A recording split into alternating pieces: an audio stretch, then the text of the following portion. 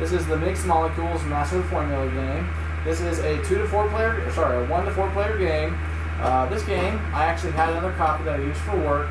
This game is phenomenal with kids with ADHD or kids that have trouble with emotion control or emotion regulation or impulse control.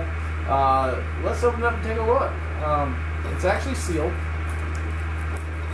So I'm going to go ahead and try to break this seal and rip off this plastic. Just take a look at the components together. This is a brand new box, brand new game, not even opened yet. This is done by Blue Orange Games.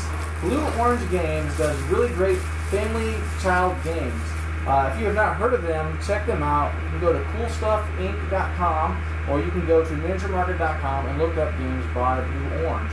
Uh, they do some really fun games like Brave Rats. Uh, they originally did Spot It, I do believe, and then now they do uh, Dr. Eureka. And so you have these test tubes. It looks like a little test tube that you would see in a science room or science lab. You have these little balls, they're really hard plastic. They do bounce when they hit the floor or the table. On my other game, uh, the, some of the test tubes were cracked on the bottom. Uh, I think maybe they changed the packaging to prevent some of that, so I'm checking that right now. Yep, none of these are busted or cracked. That's good. Yeah. I'm gonna check the ones with the balls in it because that's the ones that were cracked before. I think the balls were just slamming, so they must have made some improvements. Yeah, no cracks. That's good. Uh, I do believe that the packaging wasn't white on the one I have for work. Uh, and then the rules are pretty simple. Uh, as you can see, you can follow this. It's really simple to, uh, to learn. Open these up, take off the cellophane. And these are the patterns that you have to follow. And we'll take this to the table so you guys can see how it's played. Now that we got them on the table, the way you play this game is that you go from left to right. I do believe it's green, red, purple. Uh, that's everyone. That's how everyone has to start out. And then you'll take the top card, flip it over, and then everyone has to match the, this pattern. The way they do that is that they will attempt to move ball to or one ball in one tube to another or multiple balls without touching the tubes, without touching the balls, without dropping the balls. If you do, you're disqualified. Um, and when you do have the pattern, you have to have exactly, and you say Dr. Eureka uh, or Eureka. if you do not have the pattern, you are disqualified. You can also flip your test tube upside down to meet the pattern requirements. You, another way you can play this game is you can have each person say the number of moves that they think they can get it in. If you can complete the turn in that many moves or less, then the person wins. However, let's start. So we're all going to race to meet this pattern. The first person to get it says Eureka. All right, let's go. One, two, three, go.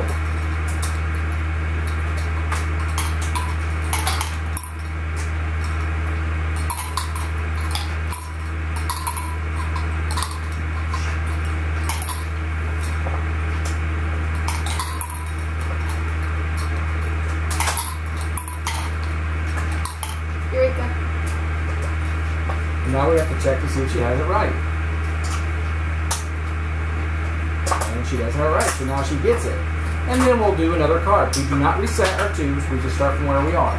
And then one, two, three, go.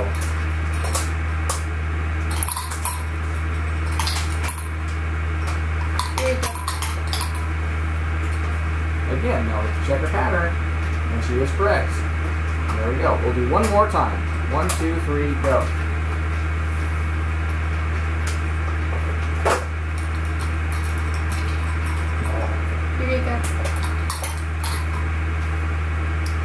Eureka. She wins again. All right. So let's take it back up top and give you our final thoughts. All right, now for our final thoughts. Uh, this game is really short. Uh, It doesn't take much time to play at all. It says 15 minutes. As you can see by the uh, the gameplay that we, we just showed, that uh, yeah, it's a really simple game. The rules are really easy to follow. Uh, components are really nice. Uh, Blue Orange Games did a really good job on this game. I heard that they have another game that's similar to this where they use petri dishes and they use tweezers to move one thing from another, uh, which is really good for motor skills. Man, Uh, they, they really know what they're doing there. Uh, what's your thoughts on the game? Um, it, like you said before, it is a very simple game.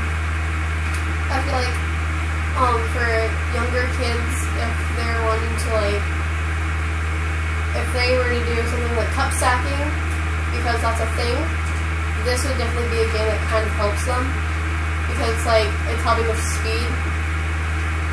Um, So kind of like dexterity. yes, and then also too, this game does remind me kind of of a game called Chopsticks that Made Mayday Games created, where there's a huge bowl filled with different like kinds of sushi, and then everyone has their own separate tiny bowl and chopsticks, and you have to like try to get a certain piece put it into your own bowl. Okay. Yeah, so like another dexterity game. So yeah, I mean this kind of does fit in the range of the dexterity uh, because you are you have to manipulate the parts or the balls into the other tubes. Um, but yeah, this is one that I would recommend for, for any family since ages eight and up. Uh, you could easily play this with someone five or six. It's just that easy. Uh, if you have young children uh, and you're looking for some games, pick this up. You can pick it up uh, of your local game stores, uh, or if they don't have it, you can probably have them order it. Uh, we picked up a copy at uh, Hometown Comics and Games in um, Greenfield, Indiana. Uh, but yeah, if you can't find it in a local game store, feel free to look online. You can order this from either Amazon or Cool Stuff Inc. or Miniature Market. But get this game. I highly recommend it. Thank you. Until next time, see you later.